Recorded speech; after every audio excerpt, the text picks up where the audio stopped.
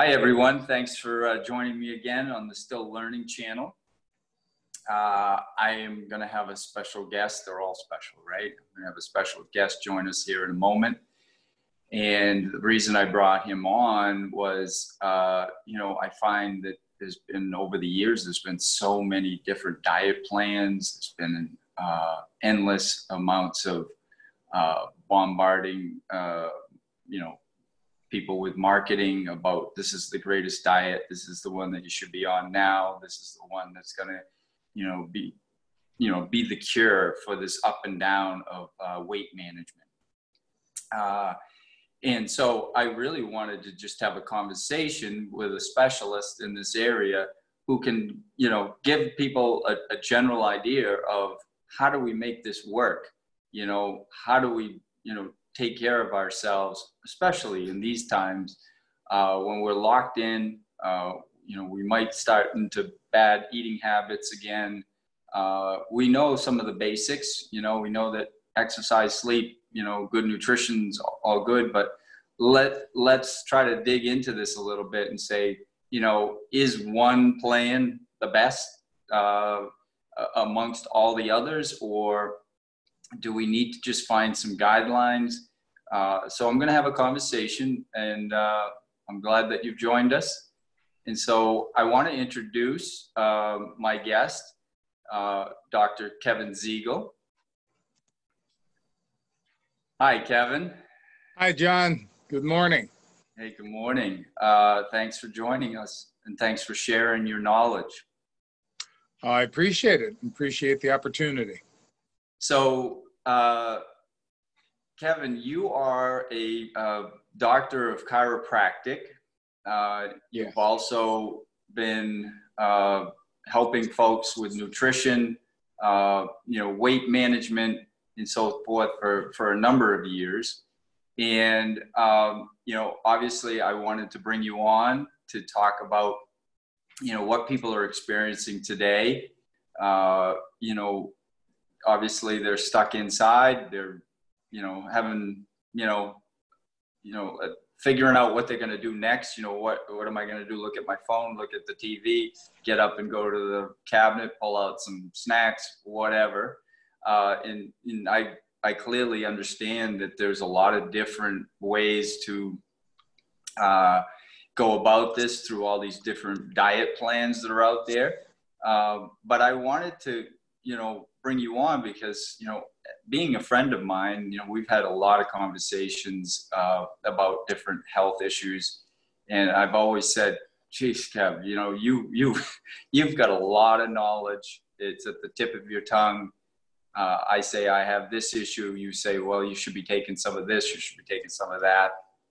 And uh, rather than just go on and on i wanted to just get your feelings about in general, what is it people can do in these times to really take control of their health, uh, their immunity, uh, and you know, just coming out of this stronger, uh, and just get your general feelings about that. Okay, that's a great question, and I'm uh, going to look at the camera rather than at your picture over here.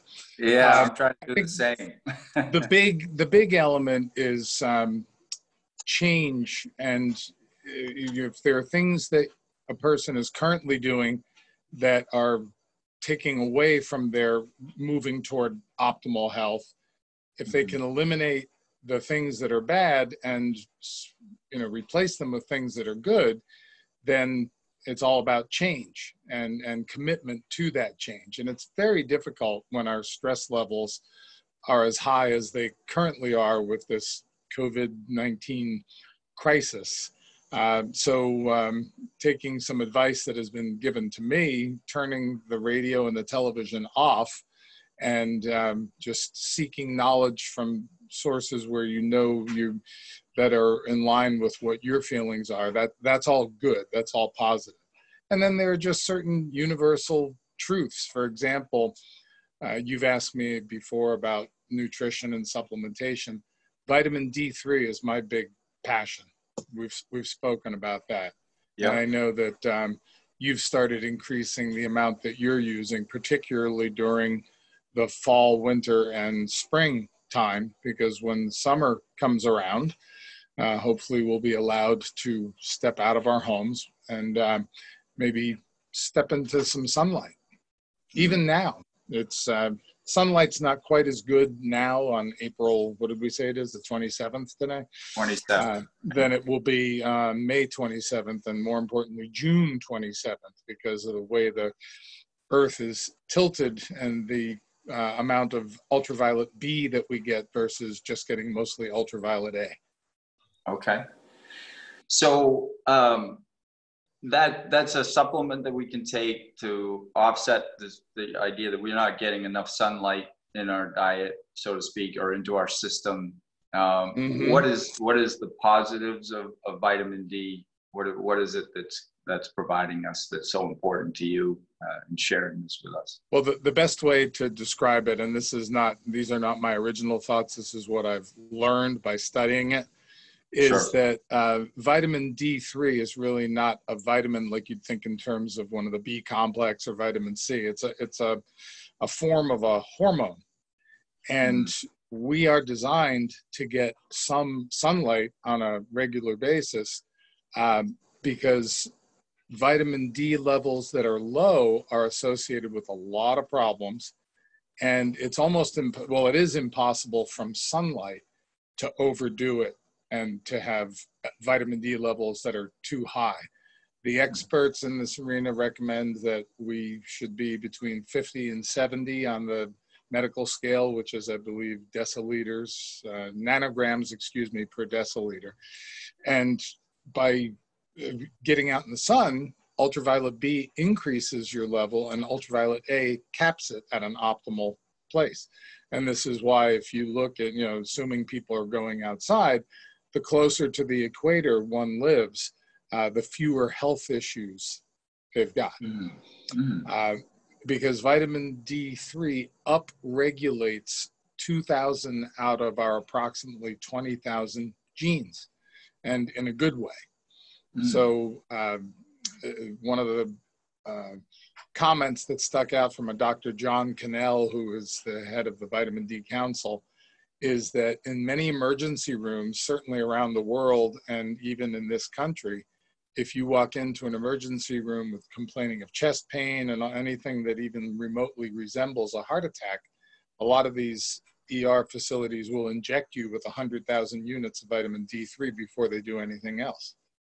Really? And I've, as someone who has had two heart attacks many years ago, I can tell you that at each time my vitamin D level was subpar. It was very low. Mm. And that's why I've become passionate about this and about um, just, you know, dietary changes in general.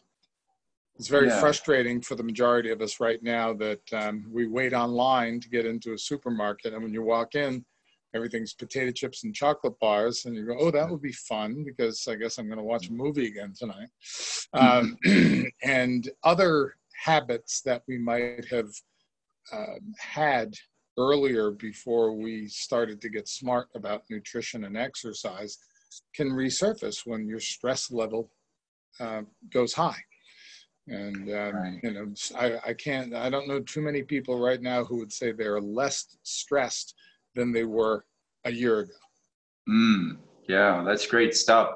So uh, let me let me recap a little bit here. At least what I thought I heard was um, obviously you, you, can help your um, your cardiovascular system by taking vitamin D.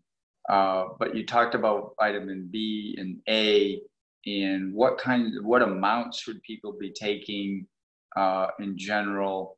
Um, you know, we're both here in the northeast of the U.S. Um, mm-hmm. and you know, we don't we don't get out for you know a, a, lot, you know, for a number of months. Many of us, and so we're certainly down from the vitamin D that we can you know generate by being in the sunshine. Uh, but recap on you know the amounts we should probably be taking, or maybe a range, uh, and then you know these other uh, vitamins that might assist in the process of mm-hmm. uh, helping us with this hormone? Yes. Well, the uh, vitamin D is one of the fat soluble vitamins. There are basically there are four: A, D, E, and K. And the K that I referred to there is the one that's in green leafy vegetables and helps with uh, blood clotting and whatnot. There's another K2, which I believe is also fat soluble, but it's more for helping the body to direct calcium to go back into the bones and not hang out in your arteries and other soft tissues. Uh, so when it comes to vitamin D3, they only I can speak to what the council recommends, and that is at this latitude up here in the the tundra. At the end of mm-hmm. April, we're supposed to get snow later in the mm-hmm. day today. Is that crazy? Wow. Um, so anyway, in, in in this at this latitude, the recommendation at this time of year is about eight thousand units, international units a day. Mm-hmm. Now, the um, recommended daily allowances or minimum daily adult requirements, if you look at them, they're nonsensical. What they really, what they, those numbers are for all nutritional supplements is the amount that will prevent you from getting a deficiency disease. For example, mm-hmm. um, rickets is a vitamin D deficiency, right? Mm-hmm. So, 400 units a day uh, which you can get by stepping out in the sun for five minutes, uh, is the minimum daily adult requirement. But that doesn't at all speak to what is a good healthful level to utilize. So the best way to do it, and I'm only referring to D3 right now, is to have a blood test and see mm-hmm. what your number is.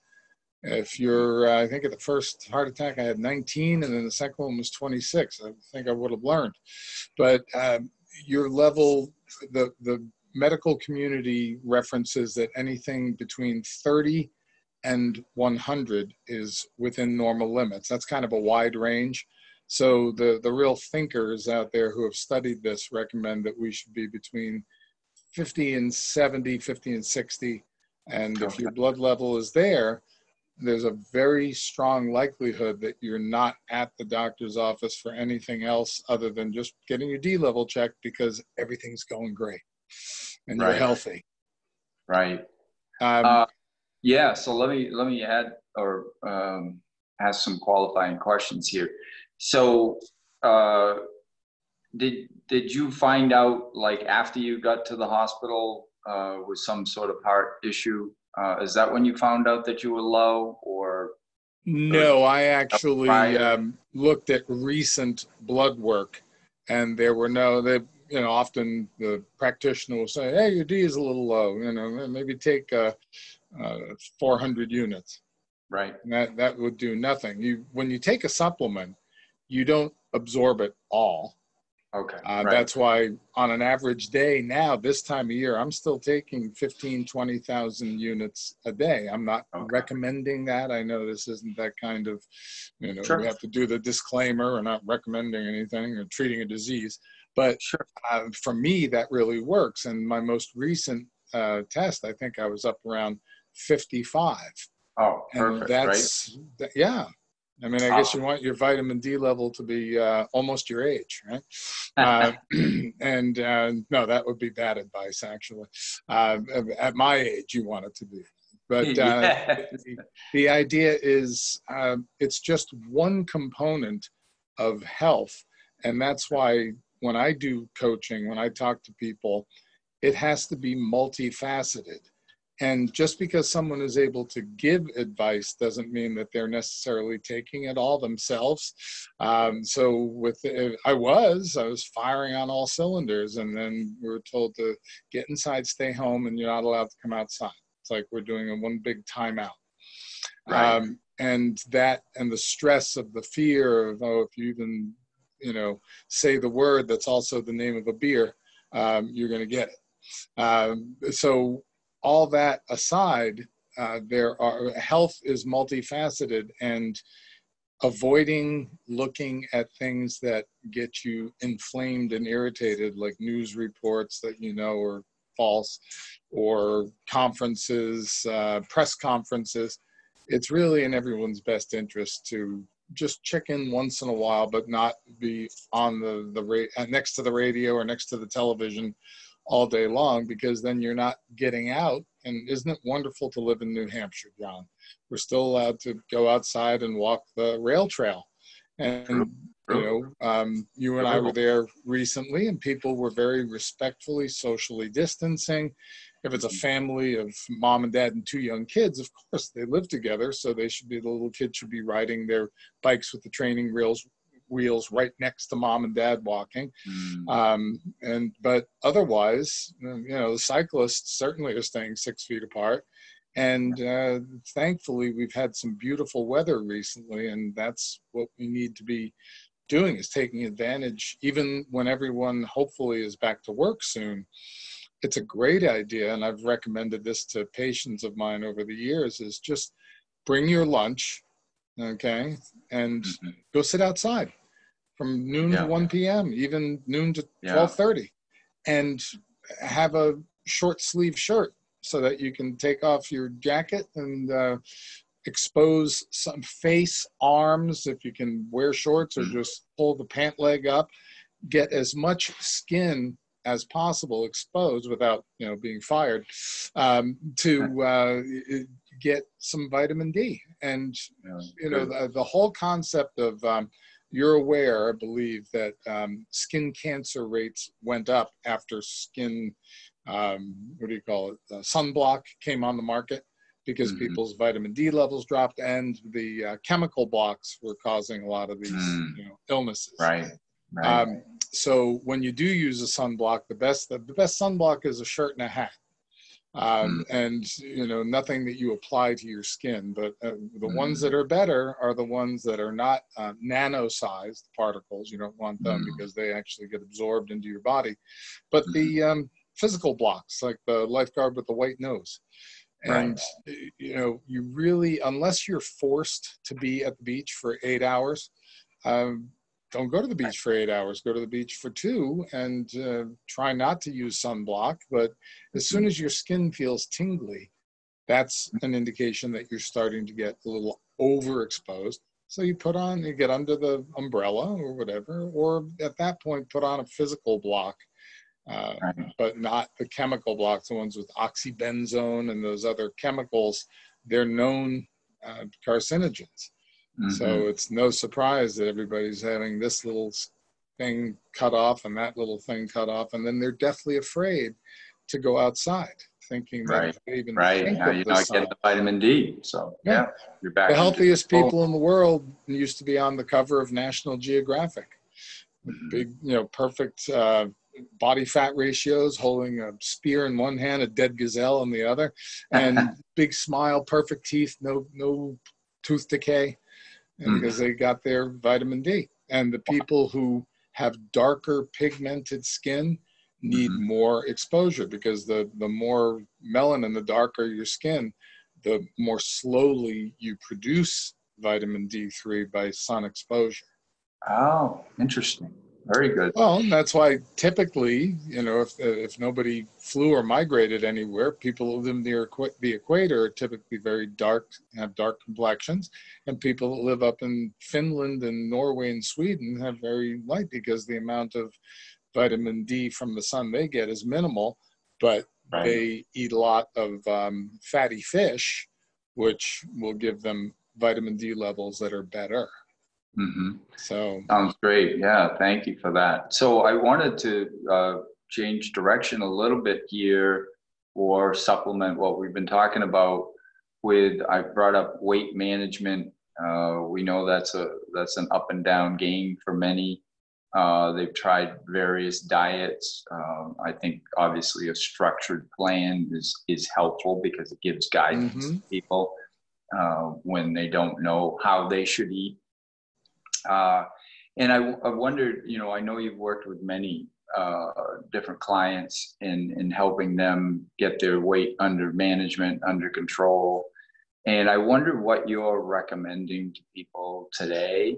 Um, and it, is there a way, other than just our own willpower, um, is there a way that the body, you know, starts to accept uh, this new way of doing things that mm-hmm. then it mm-hmm. makes it easier to maintain I mean, uh, you, you and I grew up in the day of you know, Weight Watchers and then Nutrisystem and all these different plans, right? And the South Beach diet and right. you know all kinds of different things. So I'm wondering what you recommend from your experience with your clients, from your own due diligence and research, and uh, you know if you could help some of those that are listening to this channel today, you know what what would you recommend that they do? Well, one thing to do, the first thing to do is to recognize that you, we, have gone off course. And the, best way to determine that is what is someone's body fat percentage. Mm-hmm. For men, we kind of want to, statistically, if you keep it under 25, you don't have as many uh, chronic inflammatory diseases like hypertension. You know, the cancer rate is lower, diabetes non-existent, uh, insulin sens- insensitivity, and um, or insulin resistance. But just like when it comes to exercising, if you're so out of shape because you haven't moved for years, you can't start by running marathons. And it, so a, a change has to be um, not so drastic that mm. it isn't sustainable. Right. Now, the gentleman sense. in Salem here who I helped to lose 190 pounds, wow. uh, he had to make some uh, drastic changes from what he was doing, but he's really smart and he recognized that he allowed himself an occasional indulgence and then got right back on the bicycle even though he fell off. Mm-hmm. So uh, the, the diets you mentioned are just um, hypocaloric, reducing the number of calories, but they keep the ratios of the three macronutrients the same as the food pyramid in this country, which was designed by lobbyists. Food pyramid has nothing to do with science, it's about money. So if you turn it upside down, then it's about science, meaning that but even though we know there are protein deficiency diseases and and there are uh, fats that are called essential fatty acids if you don't eat them you can get very sick. Mm-hmm. there's no known disease to man from a carbohydrate deficiency. And carbohydrates at one end of the spectrum you have broccoli kale all right? I mean delicious, right? But yeah, good for you. Eat just that all the time. And then at the other end of the spectrum, you have um, fluffernutter. and uh, so that's a carbohydrate, right? It's just pure marshmallow, just sugar, sugar, sugar, sugar. Some Wonder Bread, you know. Yeah, Wonder Bread, right? so you can't eat Wonder Bread all day, every day, and expect to be alive after a certain amount of time. By the same token, if you ate only kale, it wouldn't be so wonderful. So the whole idea is um, all good things in moderation, not everything in moderation. You know, uh, mm-hmm. there are mm-hmm. some examples I won't give you because it shock people. But the idea is if you um, start to shift the types of food that you eat away from the sugary carbs and back to the Brussels sprouts, the broccoli as, as your carb, keep your protein intake adequate and of good quality. You know, yes, there are protein in beans, but you don't want to be eating beans all day as your protein source. So some of the um, isolates are a great idea to have a shake once a day, like you see the people at the gym. Um, but if we can keep the um, fat intake low, for a period of time, especially bad fats like mm. most vegetable oils mm-hmm. are really bad. They're refined. There's nothing good about canola oil. There is no canola plant or canola nut. Canola stands for Canadian Oil Association, and it really? comes from rapeseed, the rapeseed plant, which used to be used for furniture. And then they decided, well, doesn't kill people immediately and it's really cheap so we can produce it for like 13 cents a bottle and sell it for $12 uh, but it's all wow. genetically modified meaning monsanto sprinkled their roundup on it and there's no heart health associated with canola oil so um, if you for a period of time minimize your fat intake because you've accumulated too much fat, stored fat. And the only reason we store fat is by eating too much sugar and some fat with it, which causes um, like we're hibernating.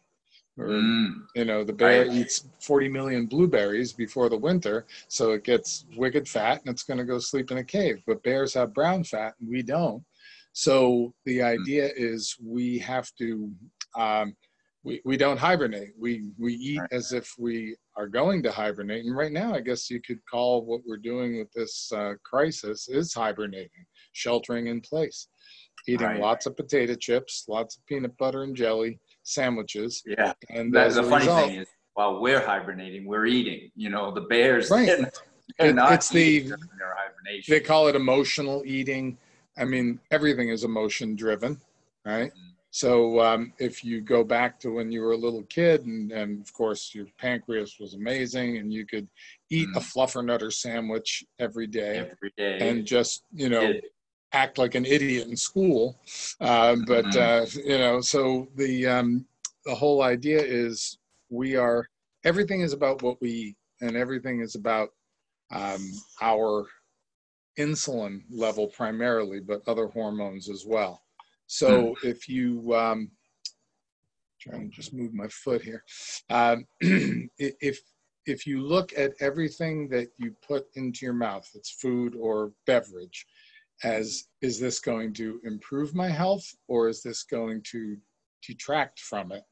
Mm-hmm. Then, as long as the, your goal is to be healthier, then mm-hmm. you'll do that. And it doesn't mean, and this is what I coach a lot of people, and we used to call them dieters, but diet is a four letter word. So mm. they're clients that I'm coaching, and we all make choices every day. So if you choose to constantly eat uh, potato chips and drink beer, you'll shift in the direction of not having optimal health. It won't happen one day, but it's what you do over a long period of time that you become. Mm-hmm. If you go to the gym and you only lift heavy weights with the right arm and you keep the left one in a cast, would it be a mm-hmm. surprise that one side's going to look like Popeye and the other like Olive Oyl? So it's not a um, it's it, I hate to use no brainer, but it's just common sense yeah. that there are foods that are health promoting and foods that are health detracting. But getting back to the um, uh, talking about the three macros: fat, carbohydrates, and protein we need a certain amount of protein and that actually increases as we age because we, we're mm-hmm. more sedentary and we lose muscle mass um, so we need more protein is what you're saying yes yeah an wow. older person will need more protein to sustain muscle mass than a younger person a lot of that is hormone driven testosterone levels estrogen levels in women and uh, that's why when you put somebody on a low carb low fat adequate protein diet, men will lose weight a lot more quickly. The husbands will lose more quickly than their mm. wives, which always ticks them off. Uh, mm. But uh, the, the, they can take comfort in the fact that the guy is less likely to remain compliant and go back to old habits, so he'll put it back on. But the goal is your diet is whatever you eat. So fad diets are not usually recommended, but a fad could be considered something that makes perfect sense scientifically that you do for a short period of time as a transitional tool to get to where you should be eating. So somebody who goes on one of the, I've coached for a couple of different programs, uh, but the, really they're all the same. Enough protein to not lose muscle mass, uh, but very low, not zero, but very low carbohydrate, bad carb intake, all good carb, and very low fat intake because while you're maintaining just an adequate level of activity, you can't work out like crazy, like 60 minutes on a running on a treadmill um, while you're doing this. But what you're doing is causing your body to burn fat to go into a um, ketosis, if you will, which is a great thing. Keto, ketoacidosis is bad, and that never happens as a result of the diets that are being promoted, unless the person is a type 1 diabetic, in which case they probably don't have any excess fat because they don't store fat. So okay. the idea is to change your metabolism and then maintain that. So while you're burning fat, you want to burn the stored fat first so that you get your body fat percentage down from 53, 55 down to 25 in the case of men and under 31 in the case of women, because that's when the negative fallout precipitously, precipitously drops. But okay. When you go off of eating that extremely low calorie type of intake and eating at certain intervals, like every two and a half to three hours, and mm-hmm. drinking mm-hmm. copious amounts of water so that you essentially urinate out the ketone bodies, which are the breakdown of the stored triglycerides in your fat cells, then the goal is to, in the aftermath, as you slowly increase your caloric intake to a reasonable amount, and it's very dictated by your physical activity level, which by then should have been ramped way up. Mm. As soon as the gym's open, right? Um, but the idea is if you gravitate toward eating more healthful fat, which is the reason avocados are so expensive, supply and demand. I eat a lot uh, of them. And and walnuts and uh, other you know raw almonds, all really good fats, and mm. keep your carbohydrate intake relatively low, but not low, I should say, but not as low as it was during the shedding of the fat, and keep your protein intake just adequate you know there are downsides to eating too much protein. There, are actually disease states damage to the kidneys. So you don't want to be eating just you know steak all day long. That's not healthful. Well yeah i guess that i want to interject here. I that i think that's the trouble is we need we need a coach. We need somebody just like mm-hmm. financial uh, means in our life. We need some right. guidance right? Well we, we can do our own due diligence. We can do our own research but in the end, you know, there's just so much information out there. We don't know which way to turn. So obviously, you're a coach. Uh, you can help because I don't know what that means when you say an adequate amount of protein. I mean, I'm not asking you right now to answer that. I'm just saying right. I, I, don't know what that is. Like I right. just say, oh, I know I haven't had much protein today, so I'm gonna have some uh, I'm going to put a burger in with my vegetables. I'm going to, you know, I'm going to take a protein shake, right? You know, because, mm-hmm. but it's, it's so, for me, it's so willy nilly. You know, I mean, I have a general uh, plan and I try to take care of myself. And honestly, I needed, I need the good fat, right? But one thing yes. I wanted to, to carry me through times uh, where I can burn that good fat so I don't need to eat as much. Uh, that my body isn't craving the next meal, or you know, because my blood sugar from you know carbs or sugars or whatever, right? It's mm-hmm. like draining my uh, my body and my energy, and I I gotta have something. And you know, sometimes it's you turn to the next piece of chocolate. You know, it's like I've already right. had enough chocolate. Why am I gonna have? Uh, because you know I I'm willy nilly about my diet in some ways. And I think that's the trouble is that many of us are. So mm-hmm.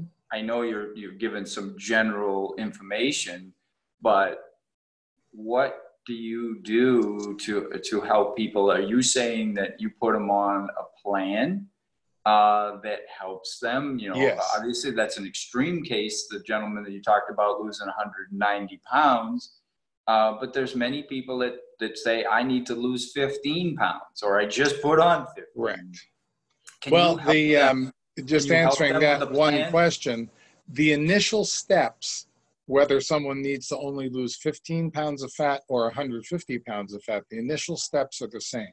Making the change to eating at regular intervals, increasing the water uh, content, making sure they're getting adequate adequate levels of both fat soluble and water soluble vitamins, and having someone check in with them. Uh, the, what, the way it works and the plan that I'm currently utilizing as the initial step is that I'll reach out to them for the first four days with a phone call, and then we agree to a, a particular day and time and then once a week, I reach out with a call. They are welcomed and encouraged to reach out to me at any time, you know, preferably not 3 a.m., but um, at any time, give me a call, send me a text, and I'll get back to you as quickly as possible.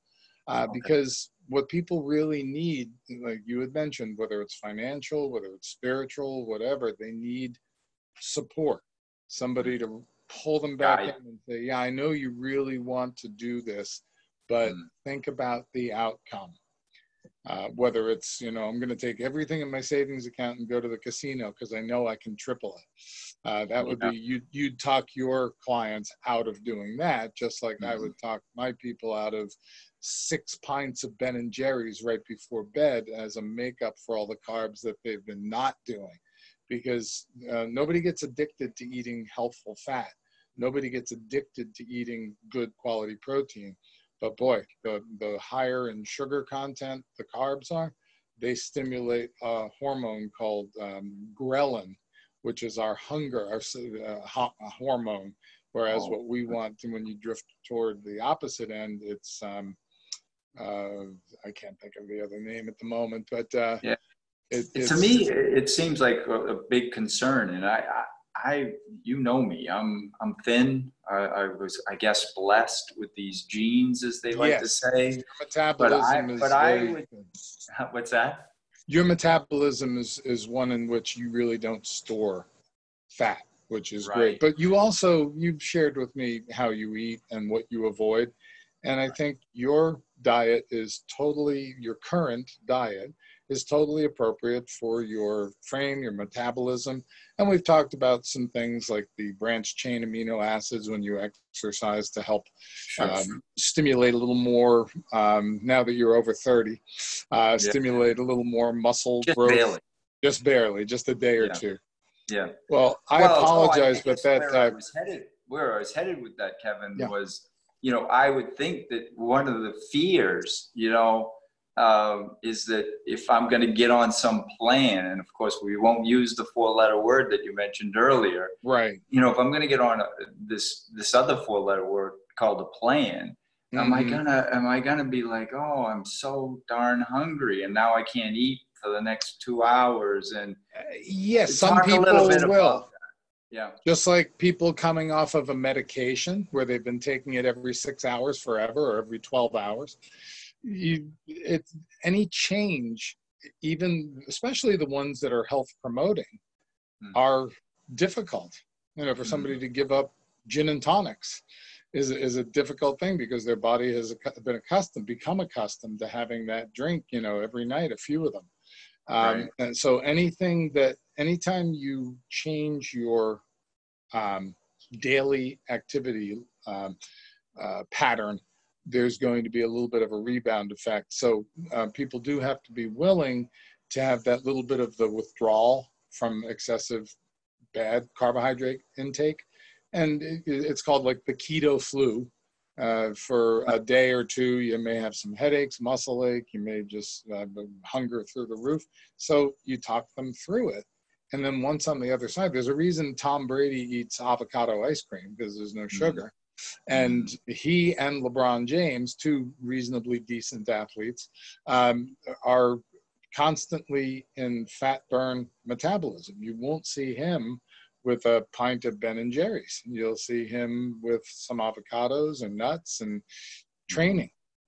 Yeah. So I apologize. I do have to uh, go to that other meeting. So uh, Yeah. Well, are we um, good for? Can you can you uh, share with folks how to, how to get in touch with you? You know, maybe they're looking for the sponsor, you know, to help them through when they're reaching Yeah, I mean, I'm I unabashedly give out my email address and cell phone number. It's not like you know, if you call me, I'll block you if you're harassing me. Uh, Yeah. So uh, it, the um, it's Kevin Zegel, Z E G E L D C, which means I'm a doctor of chiropractic. You can. Um, I'm still on Facebook because I haven't been put in jail for anything. And then uh, the uh, email address is k.z as in zebra, e g e l at verizon.net. And the uh, phone number is 978 618 5877. Okay, great. Well, thank you so much for sharing your knowledge today. Well, thank you with for this opportunity, John. I'm really, I, I, I look forward to interviewing you about what you are um, helping people with because nobody just is suddenly born a financial genius and able to manage their affairs, especially when significant changes take place in the marketplace and the economy. So Sure. um, I look forward to um, getting back on your channel and watching your videos. Okay, terrific. All right. Enjoy your day. Thank, Thank you so you. much. You as well. Thank you for your time. All right, take care, Kevin. Bye bye. Thank you. Bye bye.